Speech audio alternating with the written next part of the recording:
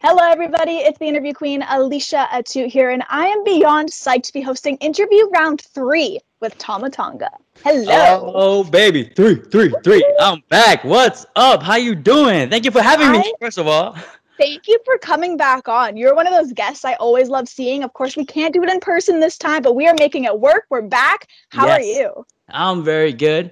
Uh, you know, the world right now is a little crazy, but hey, about time they joined my craziness, huh? I don't know. I don't know if the world's quite on your level of crazy, but who knows? Right. Give us a couple weeks. We might hit it. yeah, all right. so what's good? We, what's been happening? I mean, one of the things that I definitely want to jump into is the little island you've got going on. But before we do, since we are talking about things going on the, in the world, what are you doing day to day to kind of keep yourself occupied and not hit that level of boredom that a lot of people have? Um, man. So, you know, I'm sweating. I just got, I just was rushing around the house here. It's hot. Uh, I've been working out. I wake up. I make sure I just, I have two kids. One that's entered his into his twos, which is uh, the terrible twos. That's so true. All right. So he's running crazy. And uh, I got, I got a, a two month year old. And um, so I, I deal with them. And then I, I try to get in my my workout. Got to stay fit. Got to be ready when when we get that call to go back. You know, so. And then you know I've been working on projects uh, like the Tama's Island podcast projects. Yes. It seems like one of the ways that you've been working out is actually posting some dancing videos on TikTok. And every time one of these come up, I'm like, when are we getting a full Bullet Club choreo- choreographed ensemble? Because I think I think it's what the internet needs. Yes, Yes, I know. You know what? I've been lacking on it, uh, but I've been putting the workouts and the dancing just to kind of like uh, uplift the the mood of the world. You know, just to kind of show some um, silliness in in the midst of of this craziness going on. Just to hey, keep the keep the the light out there in the world. You know. That's something we can always count on you for. I feel like regardless of the scenario, you always have a smile on your face. You always make the best of stuff. And one of those things I feel has kind of been a silver lining in everything going on is Tama's Island, this brand new podcast yes. that you have. It is amazing. I love checking it out. There's Patreon tied into it, which we will get into. Uh, but I was wondering the whole reason for creating this podcast. Do you feel like it was out of necessity? Was it out of boredom? Was it out of just wanting to do something else while you had the time? I, will tell you the truth. Uh, this is how it started. Um, you, you, obviously you know the because of the situation with the world, we had to cancel our um, our beach party here in Tampa, and so in the midst of doing the refunds, a lot of fans gave us their refund. They didn't want their refunds back, and I just felt so. Um, I was so grateful for that. That uh, I hit up my partner and I said, "Hey, hit them all up, write them. Let's all meet up on the Zoom." And I just wanted to thank them personally on on Zoom recording, and that became. It, we had so much fun just chatting that we did it again the week after that and the week after that, and it just kind of rolled into snowballed into this Tama's Island, and we just it's a hangout, it's a podcast. They they shot questions about my career, about me, my personal life, my and I'm I'm open. I'm open book about it. You know, I don't have nothing to hide yet that I've that, that I, but but um yeah, so it you know, it, it, it's a situation in the world and I just felt I was just uh bringing a little light, you know. So that's how Tama's Island was born. I feel like one of the best things about being able to connect with your fans is not only seeing that respect and love and fandom they have for you, but also the way that it humbles you. And you've always been very humble from the jump, especially when I met you last year at the Bullet Club block party. Uh, so I was curious when it comes to those fan encounters, I've I've seen some firsthand that are a little nuts. Uh, so which ones come to mind, whether from Tama's Island, being on Zoom with them, or in person, where you're like, oh, I'm not going to forget this one. Yeah, I, there's a lot of them that I don't forget, and and it's just I see their craziness is just their uh their energy is just so high that I kind of want to match it, you know, and just kind of you know vibe up there with them and and it, you know I like that. I like to see people smile. I like to see people happy, and that's uh that's always something that has always humbled me. Well, one of the things about being a host of a podcast is not only shooting the breeze with new people, but also friends. So I was curious, since you now have this new um, platform pretty much to chat with people. Is there one guest you would love to have on that you've yet to, since it's fairly new, that you just love to pick the brain of? It, it could be anybody. It doesn't even have to be just wrestling. Ooh. Ooh. Ooh. Oh man. Okay. there's like there's a few that that come to mind. Um but there's two in my top. Um uh, uh Franklin D. Roosevelt and Elon Musk. Okay. yeah, those are the two in my mind. Those are two that I totally would not have even thought of. So what, what's your reasoning for for wanting to have them on and really wanting to know more? Uh just the Franklin D. Roosevelt because of um, you know I'm, I'm in the middle of a book reading of him, uh, and and just how he uh, brought America out of the Great Depression, and his leadership and, and what he was doing and what he stood for, and just how he he uh, held himself, and Elon Musk because of his his brain is just. Uh, whatever he set his mind to, he was, was over, always able to overcome it and just keep going, just a never giving up attitude. Um, the reaching the Mars goal, and you know the, where he's taking the the us to the future is just incredible. So yeah, wow, I just went out there, huh? Inspirational answers, Tama. Look at, woo. I love it. yeah. So, yeah, those guys. You know, I, there's more, but uh, you know, but those two right now is the, the two that top, that pops into my head. I know you asked for one, but I always give that extra, baby. Rules. It's okay. You're not a stranger. um, one of the things that I really like about the podcast is happy hour that you do every Friday. And it's really cool seeing the way that everyone gets together and you've posted little snippets about it. Uh, so I was wondering, what is that happy hour drink for you? Taking the step away from the actual uh, Zoom aspect. And what would you say that is? The, the drink?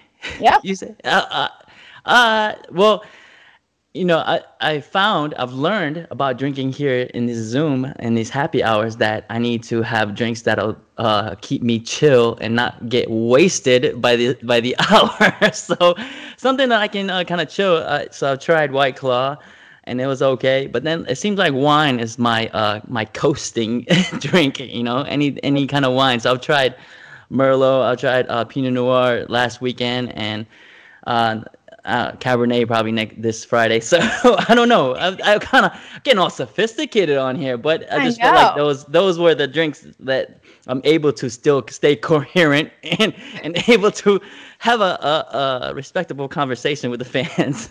right.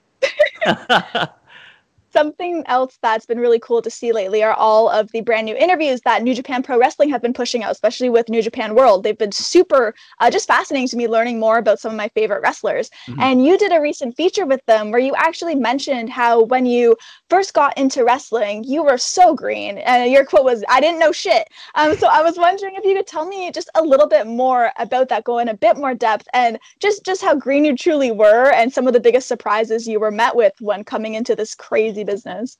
Um, you know, the, the you know, I, okay, so I'll go into how green I was going into New Japan because I went in without knowing anything about the product. I didn't know their psychology, their style, their anything. I, I kind of just went in, but I, I knew that I was gonna compete and I was gonna work hard. So those were the two things I leaned on, and everything else just kind of fell in. But just knowing how how what the rest like everybody knew about. If you were a wrestler and you wanted to be a wrestler, like you just don't look at American wrestling. You look at you know Japanese wrestling, European wrestling, and Mexican wrestling, and you try to pick. You know, you learn.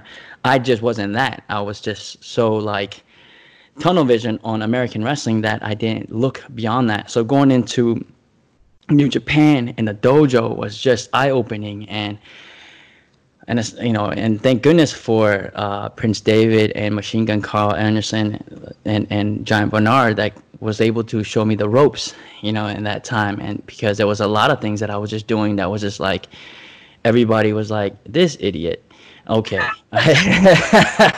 you know, and I, and I you know, that, but I was just clueless, and and so I see that now with a lot of green guys that they're doing the same moves and the same things that I, it's just not only in the ring, but on the outside and like especially when like an elder is talking to you and and you know like hey you did this you did this and this but then the you know the young one always turns around and say but but but I was but but but trying you know and you you yeah. just hey shut up.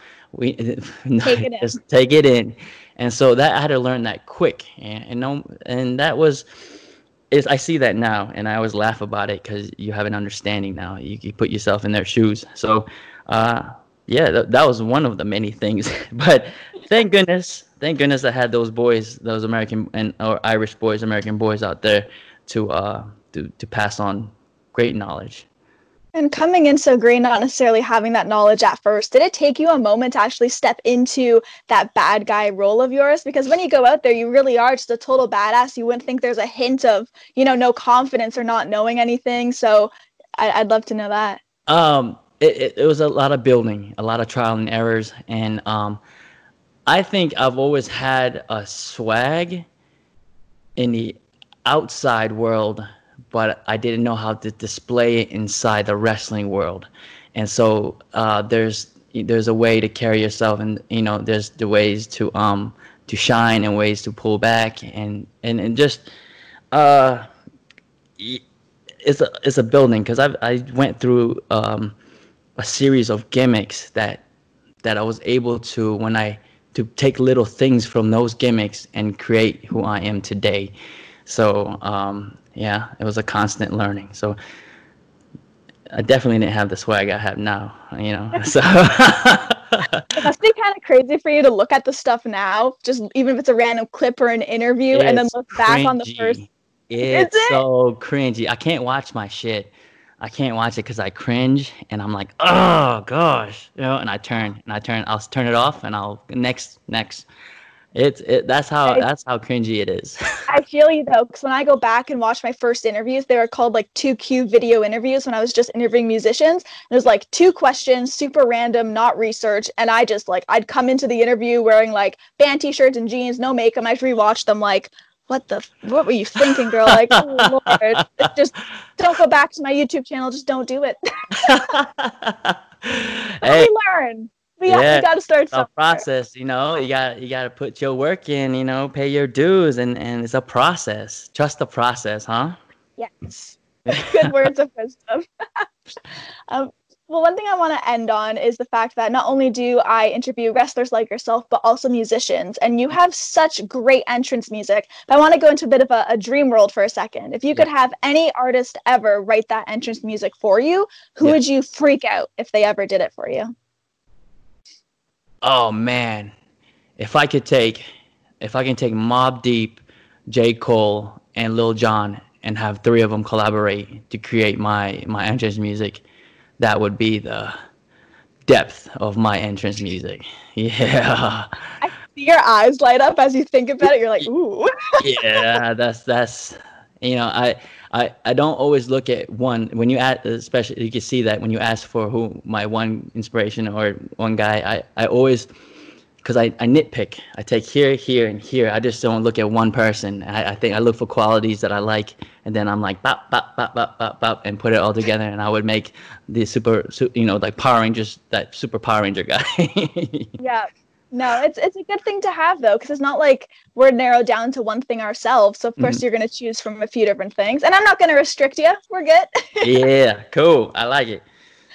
Well, I want to say thank you a ton for hopping on here. I know that you probably have a bunch of stuff to get to, but it's always such a pleasure being able to see you and catching up. So just thank you so so much. Oh, thank you. Thank you for having me. I enjoyed it. This has been great. I uh, look forward to the next one. Okay. Yes, hopefully in person on a beach with some music. Fingers crossed. hey, you already know. You already know. Everyone, cool. this has been the awesome Tama Tonga. I am the interview queen, Alicia Atout. Be sure to check out Tama's Island and check out alicia for all exclusive interviews and features. We'll see ya.